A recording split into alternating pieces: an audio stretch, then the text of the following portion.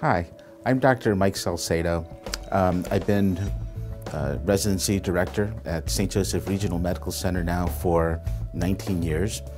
The program has been in existence for about 25 years, and the thing that's so exciting about our residency program is that it's homegrown, training by local physicians who have a deep desire to make an impact on foot and ankle training in the Midwest.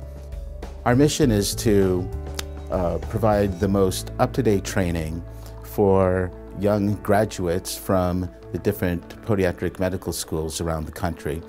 We recruit nationally, we recruit from all the schools. We're uh, recognized now as a podiatric medicine and surgery 36-month program. That means that uh, all programs now uniformly are three years in training. Typically, our residents will exceed the minimum activity requirements for a three-year program in one year, and that includes the hindfoot, trauma, and reconstructive surgery. And that's something that we're very proud of. Right now, uh, we're approved for six residency positions, and uh, we currently have uh, four residents. And one of the reasons that we don't continually expand is because we want to deliver uh, a high quality of education with uh, an overabundance of surgical procedures.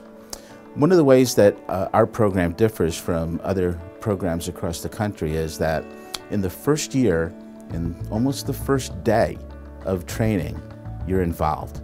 It's hands-on, it's bedside teaching, academia, workshops, direct participation from attendings, and our residents are able to get instant feedback, direct hands-on training so that they're not spectators, either in the treatment room, hospital bedside, or in the operating room.